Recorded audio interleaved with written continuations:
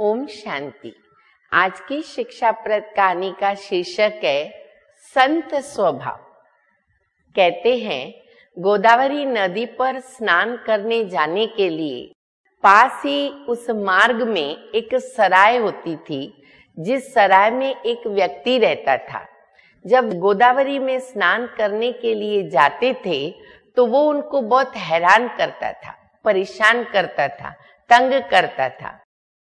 आते जाते लोग जब परेशान होते थे तो वो लोग भी सामने से दो शब्द बोल करके और आगे बढ़ जाते थे।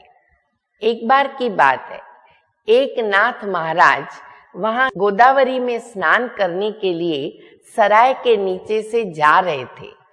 तो उस व्यक्ति ने एक नाथ जी के ऊपर कुला कर दिया, थूक दिया। एक नाथ जी कुछ भी नहीं बोले।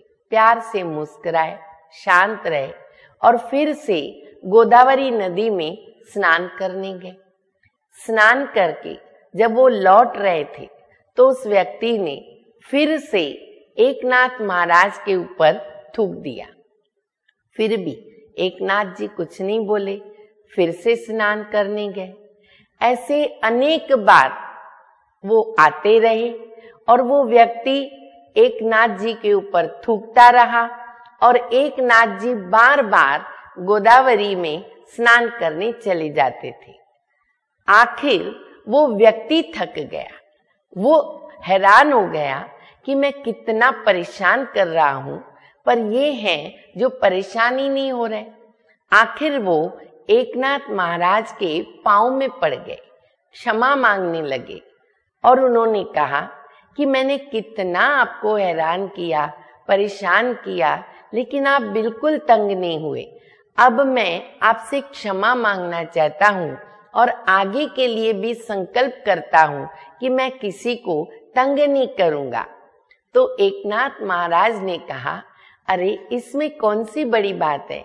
मुझे तो आपने कितना अच्छा भाग्य बनाने का चांस दिया। क्योंकि जितनी बार आप मेरे ऊपर थूकते थे, उतनी बार मुझे गोदावरी नदी में स्नान करना पड़ा। तो ये मेरा कितना पुण्य बन गया। तो आपने मुझे पुण्य बनाने का एक अच्छा चांस दिया, मौका दिया।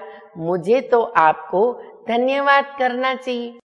तब वो व्यक्ति और भी शर्मिंदा हो गया और अपनी गलती को महसूस करने लगा। इसीलिए कहते हैं।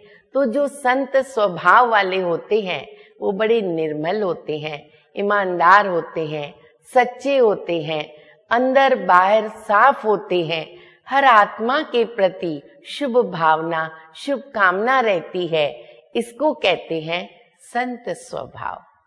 ओम शांति।